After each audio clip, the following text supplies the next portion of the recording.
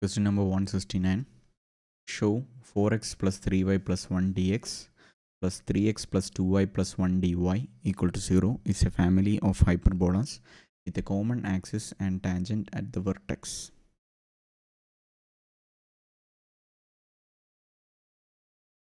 So, given equation is in the form mdx plus and dy equal to 0 First, we check whether the given equation is exact by using the necessary and sufficient condition uh, for such differential equation to be exact.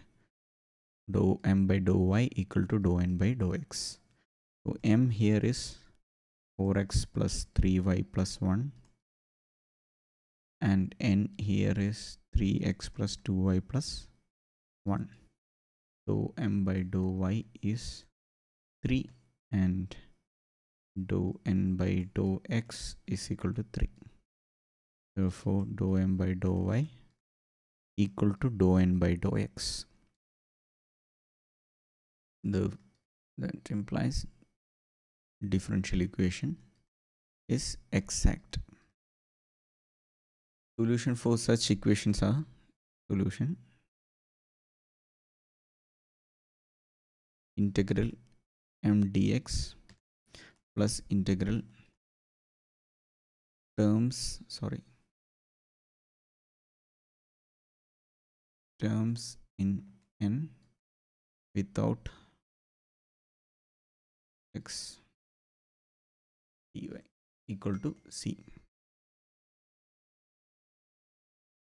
So we have integral 4x plus 3y plus 1 dx plus integral terms in n without x which is 2y plus 1 dy. So we have 4x square by 2 plus 3yx plus x plus 2y square by 2 plus y equal to c. Or equal to c mm, multiplying throughout by 2 we have um 8x square plus 6xy plus sorry mistake. So simplifying we have 2 to 2x square plus 3xy plus y square plus y equal to c so this is our solution. Now the question asks uh, whether the solution is a family of hyperbolas with a common axis and tangent at the vertex. So common so we just have to check whether this equation represent a set of hyperbolas so comparing it with the general equation ax square plus by square plus hxy plus gx plus hy plus d equal to 0 we get um, a equal to 2 b equal to 1 h is equal to 3 g equal to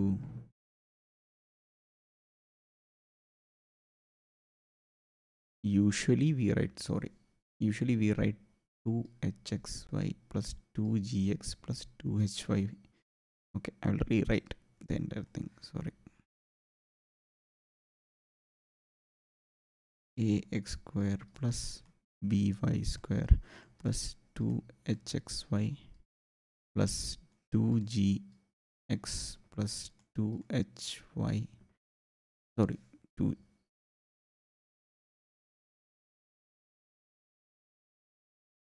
2fy plus d equal to 0 now comparing we have our a equal to 2 b equal to 1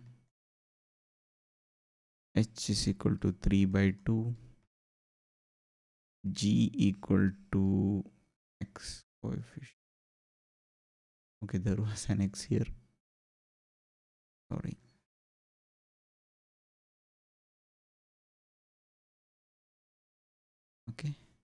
there was an x right?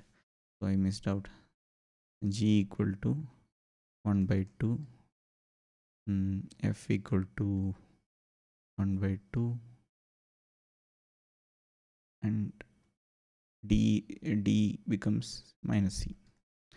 So for a general equation like uh, for this general equation to be hyper to be a hyperbola h h square minus ab should be a positive quantity greater than 0 uh, the condition uh, for a, for hyperbola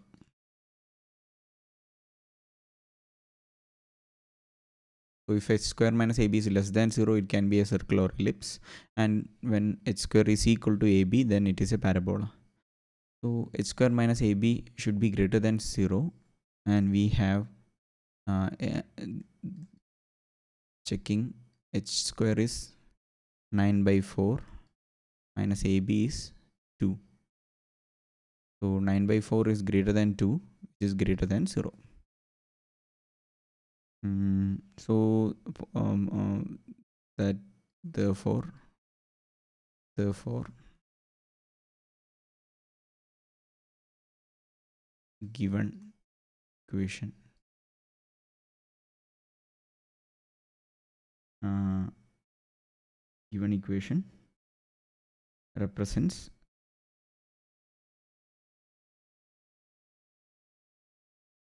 a family of hyperbolas with a common axis and uh, tangent at vertex. So this is the solution. So this is the solution to question number 169.